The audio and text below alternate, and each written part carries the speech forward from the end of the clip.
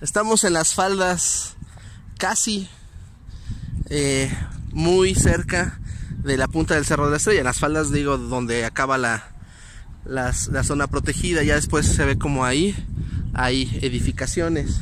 Y miren, hay unas milpitas por ahí. A ver si pueden ver ahí las milpas de maíz. Hay caballitos. Hay esta pista de, eh, pues, para correr, un, un trek. Y ahí hay un módulo de policía, pues, para que la, la gente se sienta bien. Por ahí todavía hay seguridad. Son ahorita las 7 de la tarde noche. Es, está, pues hay, hay, hay algo de gente corriendo. Y está muy bonito por acá.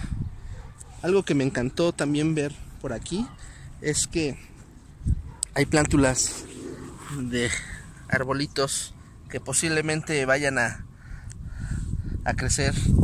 Esto es sin ninguna intervención humana. Eh, está la posibilidad de que aquí haya unos frondosos arbustos o arbolitos. Miren, muchas, muchas, muchas plántulas.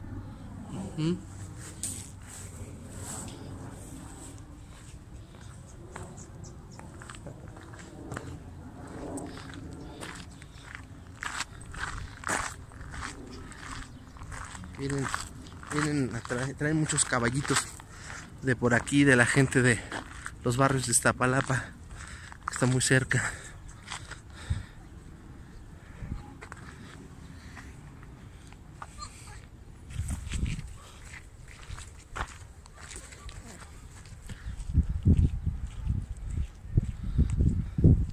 Esto también es la Ciudad de México, en el corazón de Iztapalapa.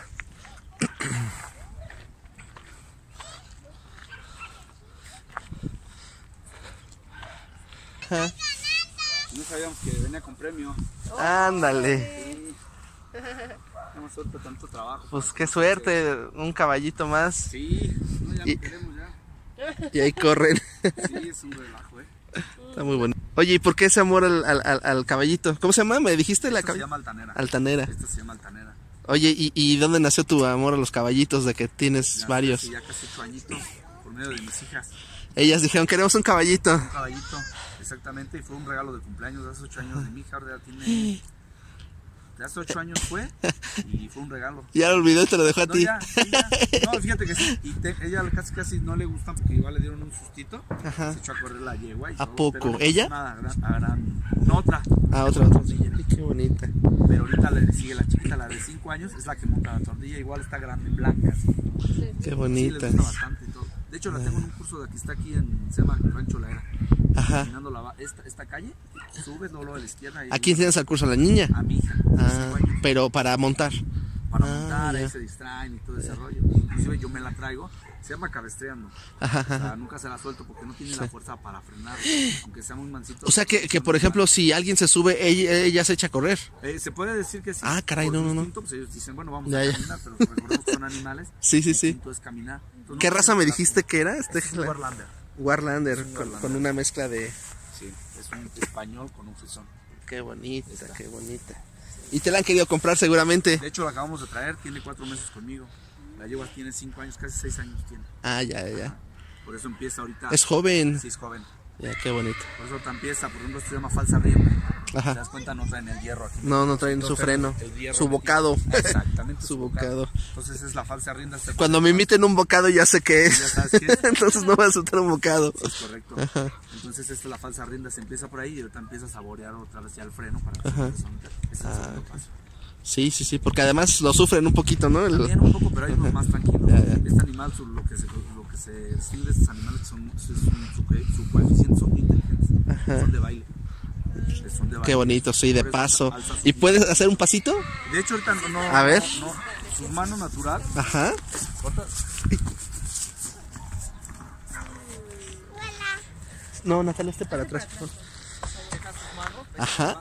Ah, ya está como pataleando. Está. Eso. Mírale, y de ladito ahí también. hace- Y es que está cargadita, también le... Sí, también le pesa, pero tiene que hacer ejercicio. Sí, ¿ya en cuánto se alivia? ¿En cuánto Está- tiempo? Está programada para octubre, noviembre más. Sí, ya mero. ¿La puedo tocar? Sí, claro. A ver, chiquita. Sí, no, no te pasa nada.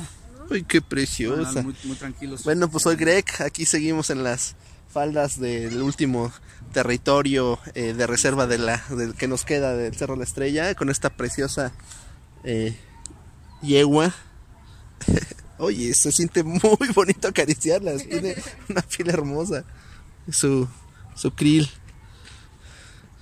Van a ser abundantes de kriles. Sí, de sí, cola. sí. Abundantes Abundante. Bueno, pues suscríbanse, luego damos más vistas de por acá por el cerro, el museíto, la pirámide, nos falta mucho que ver, pero por ahorita nada más, esta es la primera parte del video.